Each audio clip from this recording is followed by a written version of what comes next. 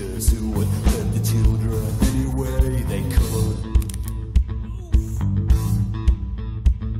By pouring their derision upon anything we did, exposing every weakness, how